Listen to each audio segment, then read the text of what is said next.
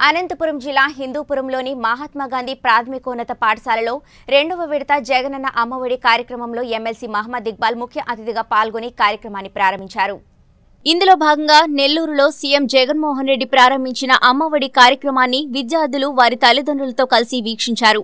అనంతరం ఎమ్మెల్సీ మహమ్మద్ ఇక్బాల్ విద్యార్థులను తల్లిదండ్రులను ఉద్దేశించి మాట్లాడుతూ నవ సమాజాన్ని తయారు చేయడం కోసం జగనన్న విద్య ఉంటేనే భావితరాల భవిష్యత్తు ఉంటుందన్నారు. చరిత్రలో విద్యా విప్లవం తీసుకొస్తున్న యోధుడు సీఎం జగన్మోహన్ రెడ్డి అని కొనియాడారు. విద్యార్థులు బాగా చదువుకొని సీఎం జగన్మోహన్ రెడ్డి ఆశయ సాధనలో పాలు పంచుకోవాలని తెలిపారు.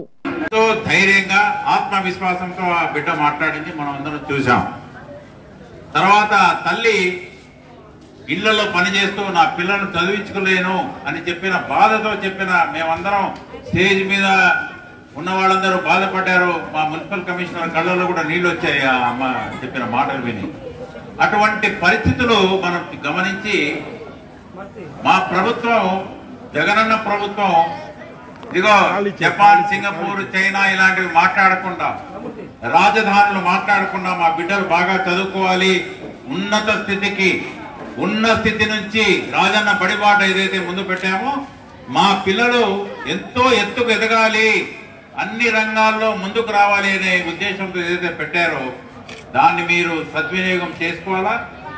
ఆయన చెప్పాడు యూనిఫామ్ దగ్గర నుంచి మీరు తినే తిండి దగ్గర నుంచి ప్రతిదీ ఒక బ్యాగ్ ఏది ఇస్తున్నాం క్వాలిటీ ఏం చే- ప్రతిదీ నాణ్యమైనది క్వాలిటీ ఇస్తున్నామా లేదా అనేది స్వయంగా చరిత్రలో ఒక ముఖ్యమంత్రి చూడడం ఏ రాష్ట్రంలో కానీ ప్రపంచంలో ఎక్కడా ఉండదని మీకు తెలియజేస్తున్నా.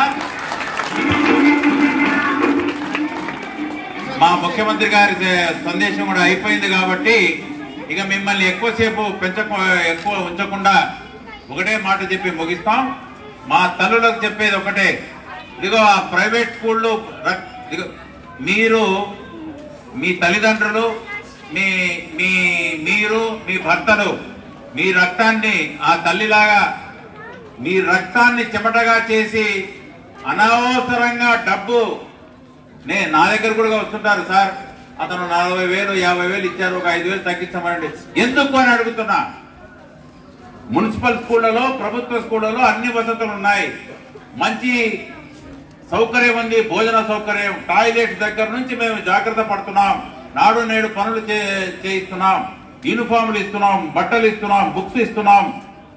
మంచి టీచర్లు ఎంఏ పిహెచ్డీలు చేసిన టీచర్లు ఉన్నారు. పిల్లల పట్ల ప్రేమ చూపించే టీచర్లు ఉన్నారు. మీరు జీవితంలో ఎదగాలనుకుంటున్నారు.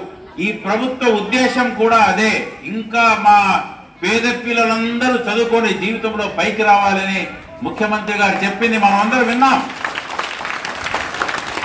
దయచేసి ఒకటే కోరుతున్నా. అందరూ ప్రభుత్వ స్కూళ్ళలోనే చేరండి.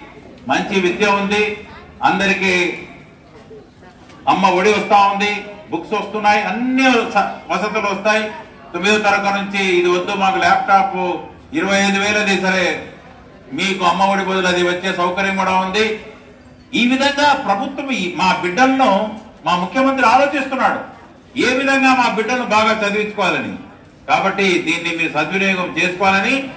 ఇంకొకటి ఇగో ఈ బ్రోకర్లు లేకుండా అక్కచెల్లెమలాల మీరు ఎప్పుడైనా చూసారా అమ్మ ఒడి దగ్గర నుంచి ఆయన ఎన్నో పథకాలు మా ముఖ్యమంత్రి చెప్పాడు.